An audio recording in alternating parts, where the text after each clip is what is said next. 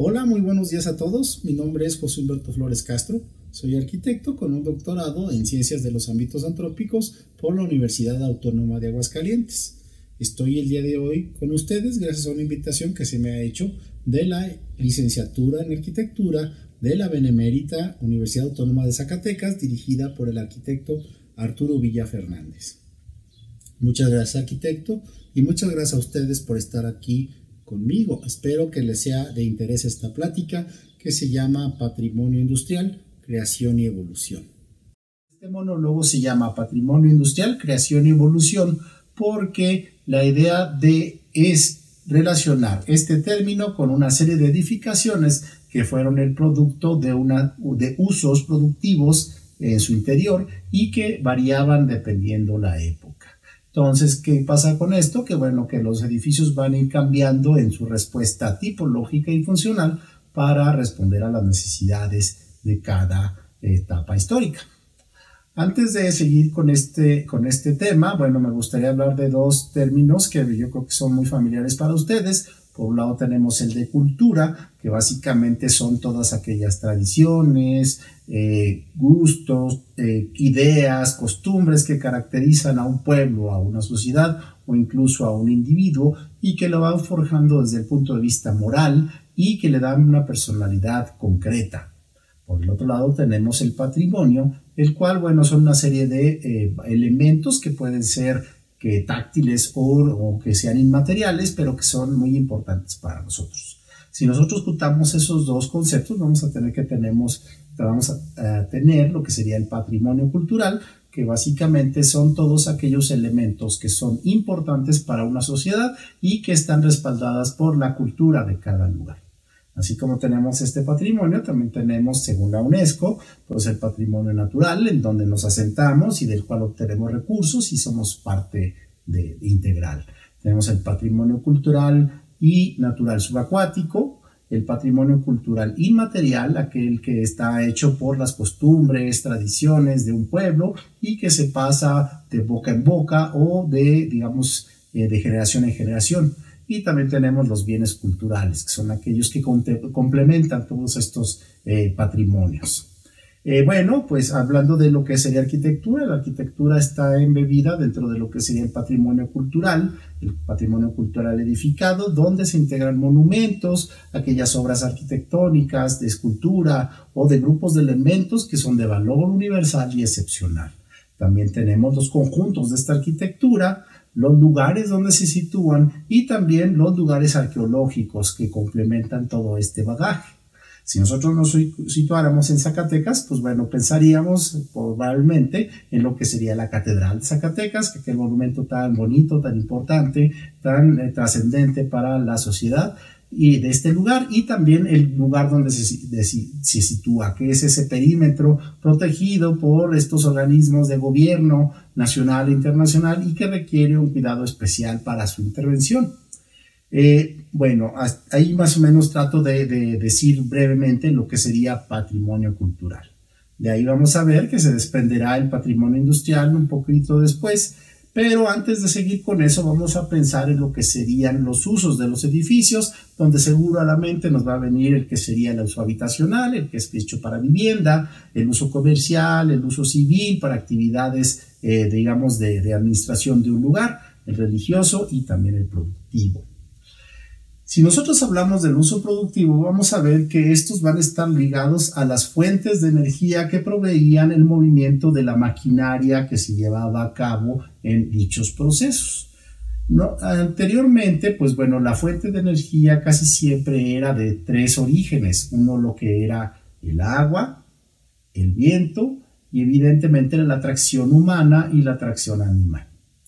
A esta época, bueno, se le llama la época eotécnica, según Louis Mumford, que la catalogó así en el siglo XX, a principios del siglo XX. Este complejo tecnológico de, que, proveía este, estas energías, pues bueno, básicamente se producían máquinas simples, máquinas de madera, que empleaban la, digamos, la energía del agua, el paso del agua, el paso del viento o también la energía de un animal para generar movimiento en algunas máquinas que eran auxiliares en procesos industriales. Ahí, por ejemplo, ustedes pueden ver una de las imágenes del tratado de Georgius Agrícola, el tratado de Re Metálica de 1556, donde ven una serie de maquinarias que están ahí, eh, digamos, dispuestas en niveles para extraer agua de las minas. La extracción de agua, al mover agua de un lugar a otro, de una posición, digamos, eh, inferior a una superior, fue el motivo de una serie de grandes invenciones a lo largo de la historia del hombre. Entonces podemos así decir que los procesos productivos y, sus resultados limitaban lo que serían las capacidades de producción del hombre, que siempre buscaba tener resultados más eficientes. Y también la arquitectura respondía a esos procesos. Entonces, ¿qué, qué pasaba? Que pues bueno, eh, inicialmente, pues los materiales con los que se disponía en la arquitectura no podían producir espacios demasiado grandes, con cubiertas muy amplias donde se albergaran muchas máquinas en su interior. Por otro lado, los usos habitacionales casi siempre estaban mezclados con los usos productivos. ¿Por qué? Pues porque eran pequeños talleres donde los artesanos llevaban a cabo sus productos y que también podían tener un lugar para, para venderlos. Ahora sí que desde el Macedum romano, aquellos mercados que combinaban todos estos usos, hasta los pequeños talleres del medievo, donde en las ciudades europeas se dividían por barrios según la disciplina a la que se dedicaban los artesanos. Así podríamos haber tenido el barrio de cuchilleros, el barrio de herreros o de carpinteros. Entonces, estas disposiciones en arquitectura eran básicamente pequeños edificios, pequeños núcleos donde se albergaban estas actividades productivas. Con el aumento de la población hubo una necesidad de poder proveer de nuevos eh, bienes y servicios a esta, a esta gran cantidad de habitantes. Si a eso lo unamos que en 1492 se descubre América y se abre un panorama completamente nuevo para la obtención de recursos, para, la, para digamos, el intercambio comercial y para también la nueva eh, población que iba a necesitar todos estos, eh, digamos, eh, productos, pues hubo la necesidad de estar comenzando a pensar en nuevas instalaciones para poder generar esta proveeduría el comercio internacional empieza a expandirse cada vez más, eh, empezando pues bueno de lo que sería el centro de Europa y bueno lo que sería la costa atlántica a toda América y después posteriormente al lejano oriente. Eh, ello, lo que, ello hizo que algunas de las monarquías eh, europeas, sobre todo la española y la francesa, comenzaran a pensar en tener algunos edificios en los, en los que poder albergar estas nuevas actividades productivas a una escala mayor. Entonces se empiezan a producir una serie de edificios alrededor del siglo XVIII, donde ya se empiezan a, crear en masa lo que sería tapicería, cristalería, eh, digamos también hubieron fábricas de tabaco y de otros elementos de la vida cotidiana que eran necesarios para la población. Eh, de ahí empiezan a tomarse lo que serían patrones clásicos de los antiguos tratados generados durante el Renacimiento y que se empiezan a reconvertir, digamos, a partir de lo que serían ejemplos, por ejemplo, de palacios, para poderlos transformar en lo que serían las nuevas fábricas que están surgiendo. De ahí tenemos algunos ejemplos donde eh, estos se van a llamar las fábricas palacio porque son grandes edificios que en realidad parecen algunos, eh, pues lo que serían construcciones civiles de gran importancia inmersas en la ciudad, pero que están exentas de la ciudad. ¿Por qué? Porque necesitan de lo que sería flujos de agua o flujos de viento o también espacios amplios para poder eh, dar de comer a lo que serían los animales que ayudan en las tareas de la maquinaria para la producción. Hay ejemplos muy importantes y muy notables que probablemente ustedes vayan a revisar en sus clases de historia de la arquitectura. Viene a la mente aquel gran complejo que se llamó las Salinas Reales de Shaw, que, fueron ideadas durante el siglo XVIII por el arquitecto Claude Nicolas Ledoux, eh, que era el arquitecto de la realeza francesa y que desarrolló un gran complejo que incluía lo que sería eh, las actividades de transformación de la sal, que era tan importante para preservar los alimentos en aquella época, pero que a su vez tenía una serie de otros complejos que, en los cuales había, eh, vivían los trabajadores de ahí y también los administradores de todo este gran espacio. Aquel gran eh, ejemplo, bueno, estaba dispuesto en, en, un gran círculo donde al centro estaba la casa del administrador que vigilaba de esta manera, de una manera panóptica, a todos los trabajadores que ahí laboraban. Desafortunadamente solo se construyó la mitad, pero bueno, fue el inicio de una nueva manera de pensar la arquitectura desde el punto de vista de lo que sería la transformación de un elemento para obtener un producto. Hubieron otros ejemplos, por ejemplo la, Real Fábrica de Tabacos de Sevilla, que era un gran cuadrángulo con pequeños patios interiores, también al modo palaciego, y en el cual se albergaban todas estas actividades que eran requeridas para poder eh, fabricar los cigarros que la gente estaba, pues ahora sí que necesita. Con el paso del tiempo, este tipo de edificios va cambiando de forma, va cambiando de identidad y se va transformando.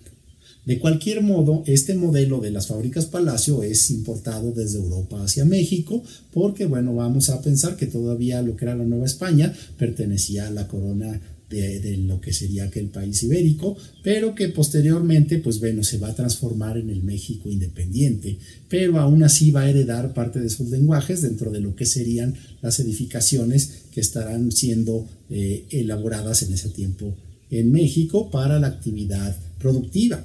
De ahí vamos a ver que, pues bueno, va a haber algunas eh, haciendas, haciendas que podrían haber sido, pues bueno, para mineras, haciendas mineras o para algún otro uso que van a estar cambiando su tipología y adaptándose a las nuevas necesidades. Eh, aquí cerca de Zacatecas, pues bueno, tenemos algunos ejemplos que fueron muy notables, por ejemplo, la Hacienda Nueva de Fredillo, que era un gran cuadrángulo eh, que estaba un poco relativamente derivado de esas fábricas Palacio y que albergaba por, en el interior pues una serie de actividades del beneficio del mineral de la plata, que era tan necesaria para el gran comercio internacional. Ahora, eso estaba sucediendo, digamos, en los países del centro de Europa, pero en el norte de Europa, particularmente en la isla de Gran Bretaña, estaban sucediendo una serie de cosas muy distintas. Este país que estaba tan desapegado a lo que era la tradición del continente, pues siguió su curso, eh, digamos, en su, propio, en, su propio camino. Y vamos a ver que ahí a finales del siglo XVII, pues bueno, se eh, inventa la máquina de vapor la máquina de vapor que va a ser el producto de una serie de pequeñas invenciones del norte de Europa que luego son importadas a Inglaterra, donde ya se amalgaman en un solo producto y va a salir la máquina de vapor que va a estar impulsada por carbón y que va a servir para, digamos, dar, eh, eh, digamos, movimiento a grandes maquinarias que originalmente se van a usar para extraer agua de las minas. Esta máquina de vapor pues eran, eran normalmente máquinas tan grandes que tendrían que ser albergadas en un edificio que normalmente medía como unos 10 metros por 15 o 20 metros en planta y por unos 15 metros en altura. Eh, para la época y también actualmente se considera que el edificio era parte de la maquinaria. ¿Por qué? Porque sin ese edificio la máquina no funcionaba.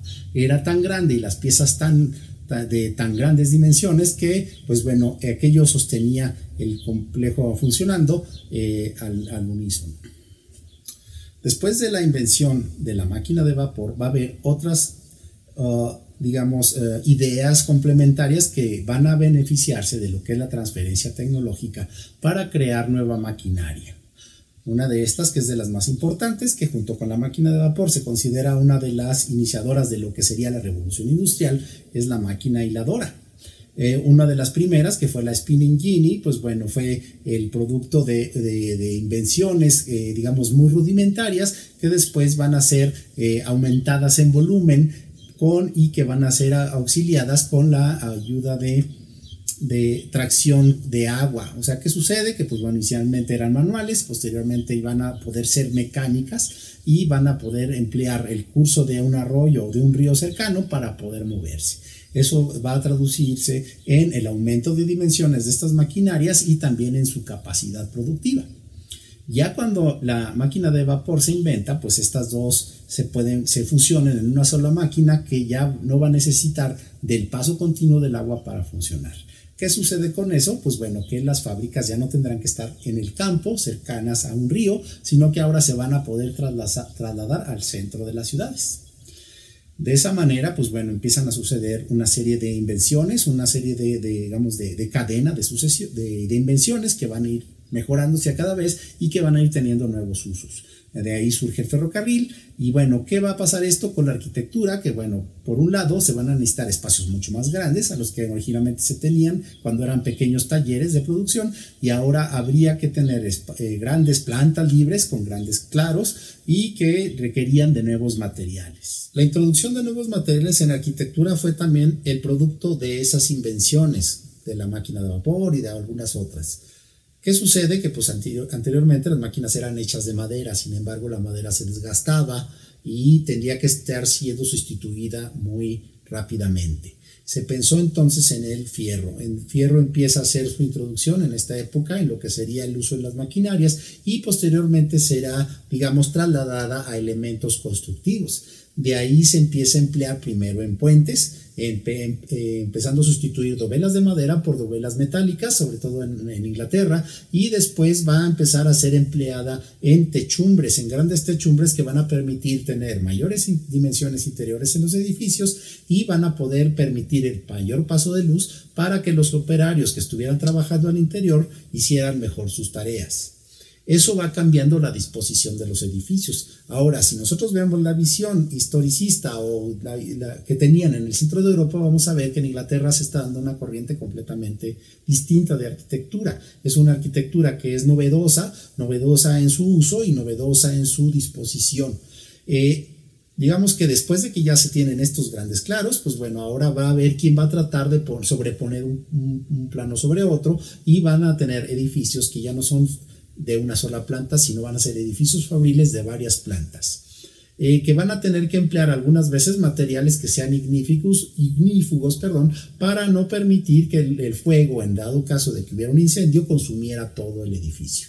Entonces se empieza a pensar en cubrir todas esas estructuras de acero con algún otro elemento que sea resistente, como el ladrillo principalmente, y cuando aparece el concreto a finales del siglo XIX, el concreto va a ser empleado de gran manera en estas edificaciones, que después va a ser trasladado a otra serie de usos tales como el habitacional. Eh, digamos que todo el siglo XIX, pues bueno, fue básicamente un, siglo que fue empleando la energía del carbón a través de la máquina de vapor para hacer funcionar sus grandes máquinas. Ahora estas máquinas cada vez fueron más, siendo más eficientes y se redujeron en tamaño. Ya al final del siglo XIX surge, digamos, lo que sería la invención del uso de la electricidad y esta va a sustituir paulatinamente al vapor, al impulso de vapor.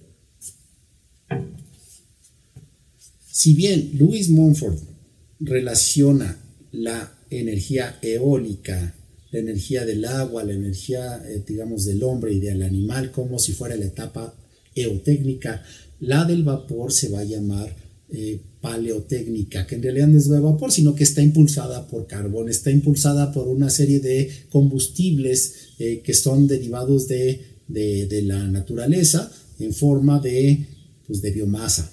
¿okay? Después ya cuando entra la electricidad a esta nueva etapa se le va a llamar la neotécnica.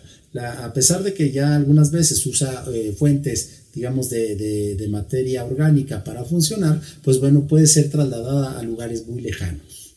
Entonces, esto, eh, digamos, crea una nueva generación de edificios que cada vez va a estar más desapegada de aquellos patrones clásicos que se empleaban a inicios del el siglo XVIII. Digamos que esa tradición constructiva cada vez va siendo olvidada y que va creando nuevos edificios que cada vez más son más utilitarios. Algunos ejemplos, por ejemplo, está la fábrica de turbinas de la AEG en Berlín, por Peter, eh, que fue diseñada por Peter Behrens y que después tendrá pues, grandes variaciones en, el en Europa, sobre todo en el norte de Europa y en Norteamérica. Debemos pensar que, bueno, si gran parte de la hegemonía económica la tuvo Inglaterra por un tiempo, posteriormente esta se va a desplazar hacia lo que sería Estados Unidos ya bien entrado el, bueno, entrado el siglo XX. Durante todo el siglo XX Estados Unidos será el líder en este tipo de actividades, las cuales van a permear a otras latitudes. Eh, bueno, nosotros en México, teniendo la influencia de este país, eh, digamos que está tan cercano, vamos a ver muchos ejemplos de arquitectura industrial que va a ser importada, que va a ser, digamos, eh, trasladada desde aquellas latitudes a nuestro territorio y que vamos, y vamos a ver cómo la arquitectura va a ser como la transportadora de un lenguaje diferente y que va a servir como una especie de puente entre tiempos y también tecnologías. Entonces, por aquí van a empezar a surgir una nueva tipología de edificios como lo que serían las plantas generadoras de electricidad ah, y también van a, eh, van a ser requerir nuevas disposiciones en la manera de hacer los procesos industriales. Ya se, necesitan espacios todavía más abiertos que permitan mayor cantidad de luz al interior, más que la que se tenía anteriormente. ¿Por qué? Pues porque eso también les ayudaba a ahorrar en el recurso energía. Ya esa, si la electricidad se tenía que pagar, pues bueno, al hacer eficiente el edificio desde el punto de vista lumínico, esa era un, ese era un ahorro que los eh, empresarios tenían en este tipo de industrias. Eh, bueno, entonces las características de los edificios van a ser que, pues bueno, va a ser más común el uso del metal, va a ser más común el uso del ladrillo, del concreto y también la forma que van a tener estos edificios va a ser distinta. Ya con la entrada de las nuevas, eh, de las nuevas capacidades eh, estructurales de los elementos que permiten mayor cubrición de claros, pues bueno, las ventanas en vez de ser verticales van a pasar a ser horizontales. Entonces eso ya es bien entrado el siglo XX y ya la tipología del edificio industrial va a ir cambiando. Ahora, eh, ¿qué pasa aquí? Que bueno, hay que acordarnos que hablamos del patrimonio industrial. Bueno, muchos de estos edificios empezaron a caer en desuso. ¿Por qué? Pues porque a lo mejor lo que producían ya no era necesario, porque ya la maquinaria no era tan eficiente como se pensaba y se sustituía por otra que era mejor. Eh, o simplemente porque las, cuestiones económicas no permitían que lo que se produjera ahí, pues bueno, era, fuera útil. Entonces, ¿qué pasa con muchos de estos edificios que quedan en desuso y se abandonan? Ahora, aquí es cuando tenemos que empezar a hacer énfasis en el concepto del patrimonio industrial. ¿Qué pasa? A diferencia de otros edificios como los religiosos o los civiles que están, digamos, localizados dentro de un casco histórico, estos casi siempre permanecen siendo utilizados, al menos en muchas regiones, ¿no? Pero los edificios industriales, muchas veces al estar en las afueras de la ciudad, normalmente son abandonados y son, digamos, objeto del olvido.